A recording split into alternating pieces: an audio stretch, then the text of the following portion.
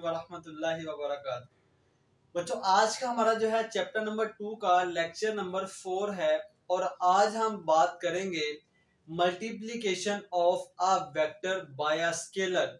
कि जब हम एक वेक्टर को एक स्केलर के साथ मल्टीप्लाई करवाते हैं तो हमें आंसर क्या मिलता है? क्या हमें आंसर वेक्टर मिलता है या क्या हमें आंसर स्केलर मिलता है?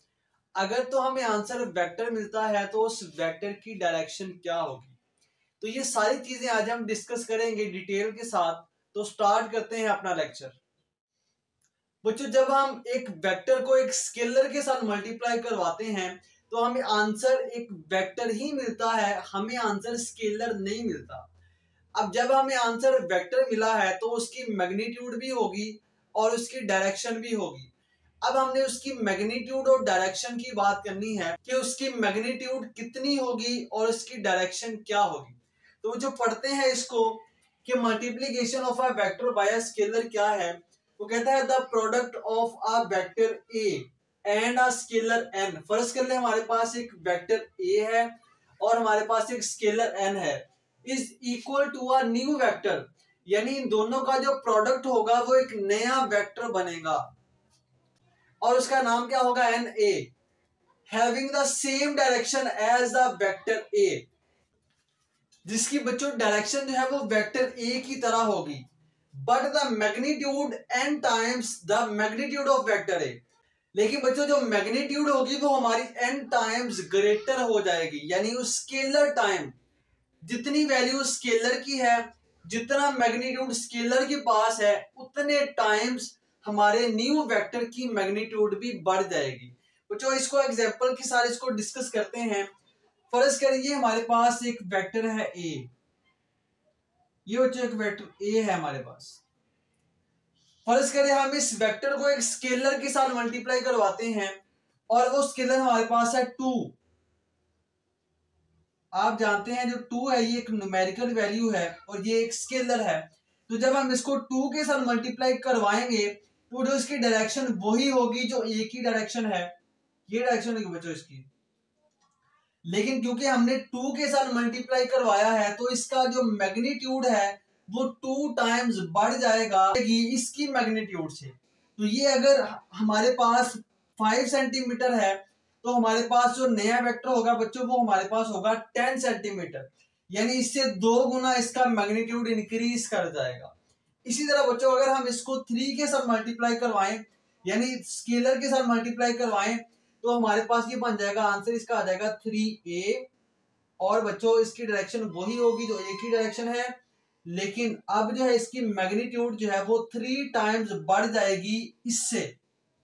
तो ये है हमारा multiplication of a vector by scalar कि जब हम एक वेक्टर को एक स्केलर से मल्टीप्लाई करवाते हैं तो जो हमारे पास आंसर एक वेक्टर आता है और उस वेक्टर की डायरेक्शन जो है वो ए की तरह की डायरेक्शन होती है।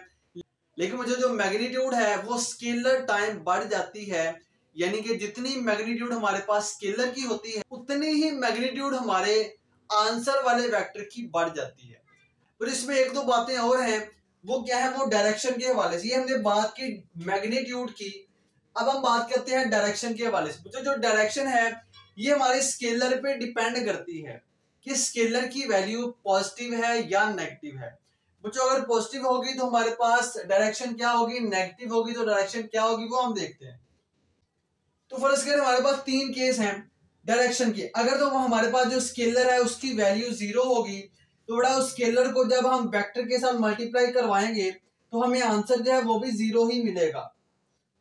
और अगर हमारा जो स्केलर है वो ग्रेटर देन ज़ीरो हो जो ग्रेटर देन ज़ीरो का मतलब होता है, हर वो नंबर जो पॉजिटिव नंबर है। तो अगर वो ग्रेटर देन ज़ीरो है तो हमारा जो आंसर वाला वेक्टर होगा, वो भी पॉजिटिव होगा, वो बन जाएगा प्लस एन ए और ये हमारा आंसर होगा, बच्चों, इसकी जो डायरेक्शन है, हम जानते हैं जो पॉजिटिव नंबर है, बच्चों, जो हमारे पास पॉजिटिव वेक्टर है, उसकी जो डायरेक्शन हमारे पास होती है, वो बच्चों, इस तरफ़ होती है। ये हमारे पास है पॉजिटिव एम ए की डायरेक्शन तो ये हमारे पास जो है, अगर हमारा स्केलर पॉजिटिव है तो इसकी डायरेक्शन वही होगी जो उस वेक्टर ए की डायरेक्शन है।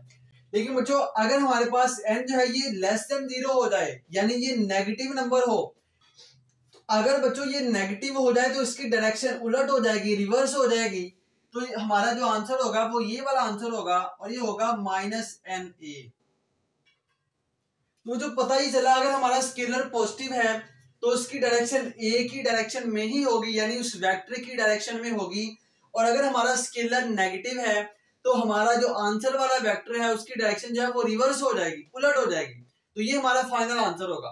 तो जो ये ये आपसे एमसीक्यू में पूछा जा सकता है, और ये ऐसा शॉर्ट क्वेश्चन भी आपसे पूछा जा सकता है। तो इसके बाद एक बात गौर से सुने कि यहाँ पे जब हमने अपने वेक्टर को स्केलर के साथ मल्टीप्लाई किया तो हमें आंसर में एक वेक्टर मिला और वो वेक्टर उसी फॉर्म में मिला जिस फॉर्म में वो पहले था। यानी पहले भी वो ए था, बाद में भी वो ए ही रहा। उसने अपनी क्वांटिटी को चेंज नहीं किया। ये ए से बी नहीं बन गया। जो हमारे पास पहले वेक्टर था, बाद में भी वही रहा। यानी इसने अपनी फ़िज़िकल स्टेट को चेंज नहीं किया। लेकिन बच्चों, वो कहता है कि हर दफ़ा ऐसा नहीं होता। बाज मरतबा ऐसे होता है कि जब हम एक वेक्टर के साथ एक स्केलर को मल्टीप्लाई करवाते हैं तो हमें आंसर वाला जो वेक्टर मिलता है, ज़रूरी नहीं कि वो इसी फॉर्म में मिले, जिस फॉर्म में पहले वाला वेक्टर है। तो वो कहता है बाज दफ़ा ऐसे होता है कि जो हमारा आंसर वाला वेक्टर होता है, वो अपनी फ़िज़िकल स्टेट को चेंज कर लेता है। जो आसान एग्ज़ाम्पल है, जब आप चाय बनाते हैं, आप उसमें तीन से चार चीज़ें मिक्स करते हैं। तो आप जब तीन से चार चीज़ें मिक्स करते हैं दूध के अंदर तो बाद में वो दूध नहीं रहता, बल्कि वो चाय बन जाती है। तो इसी तरह जब हम स्केलर को वेक्टर से मल्टीप्लाई करवाएँ, ज़रूरी नहीं कि वो पहले वाला वेक्टर ही रहे, बल्कि वो अपनी फ़िज़िकल स्टेट को चेंज कर लेता है। यही सारी बातें हमने यहाँ पे लिखी हैं।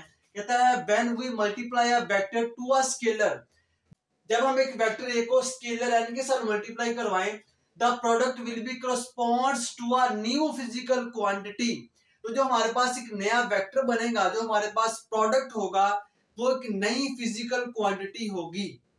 And the dimension of the resulting vector will be product of dimensions of both two quantities. और जो हमारे पास रिजल्टेंट की डायमेंशन होगी, वो उन दोनों क्वांटिटीज की डायमेंशन के इक्वल होगी, जिनको मल्टीप्लाई करके हमने रिजल्टेंट वेक्टर बनाया है। अब इसके एग्जांपल देखें तो आपको मजीद बातें समझ में आ जाएगी। फ़र्ज़ करें हमारे पास एक है वेलोसिटी और ये वेक्टर क्वांटिटी है। और हमारे पास एक है मैस ये हमारे पास स्केलर क्वांटिटी है। तो जब हमने स्केलर को वेक्टर से मल्टीप्लाई किया, हमें आंसर मिला है कि वेक्टर और हमें आंसर जो वेक्टर मिला, वो हमारे पास मोमेंटम है। बच्चों, पहले ये होता था कि जो वेक्टर यहाँ पे है, वही वेक्टर हमें आंसर में मिलता था। जस्ट इसकी मैग्नीट्यूड इतने टाइम बढ़ जाती थी। लेकिन अब यहाँ पे हमने क्या पढ़ा? हर दफ़ा ऐसा नहीं होता, बल्कि जो हमारा रिजल्टिंग वेक्टर है, जो हमारा आंसर वाला वेक्टर है, वो अपनी फ़िज़िकल स्टेट को चेंज कर लेता है। तो यहाँ पे वही काम हुआ।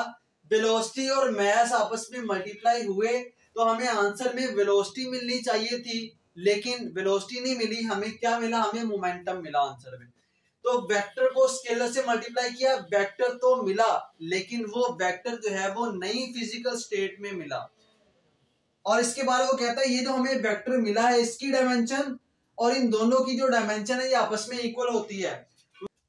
जो मोमेंटम का सिंबल होता है पी मैस का एम और वेलोसिटी का V होता है तो ये बन गया P is equal to M V जो ये हमारे पास मोमेंटम का फार्मूला बन गया P is equal to M V अगर हम इसकी डायमेंशन की बात करें मोमेंटम की तो ये होती है एम एल टी की पावर माइनस वन और इस साइड पे मैस की डायमेंशन होगी M velocity metre per second है तो ये बन जाएगा एल टी की पावर माइनस वन तो यहाँ पे गौर से देखिए, दोनों की डायमेंशन आपस में इक्वल है, यही बात हमें उसने बताई है।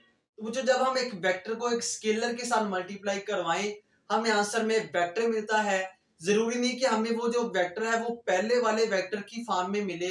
बाज मरतबा हमें जो वेक्टर मिलता है, उसकी फ़िज़िकल स्टेट चेंज हो जाती है। तो ये था हमारा आज का आर्टिकल किसी भी किस्म का क्वेश्चन है, कोई भी डाउट है कमेंट सेक्शन में आप पूछ सकते हैं। बहुत सारा ख्याल रखिएगा। अल्लाह हाफिज।